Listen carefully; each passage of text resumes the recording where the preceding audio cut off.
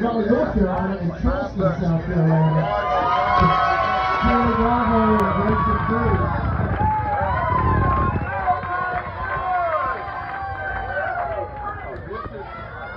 So here at on three straight Miami Harris so in the open division, you won big money tonight.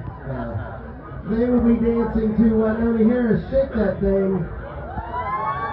Couple number four, Kaylee and Grayson.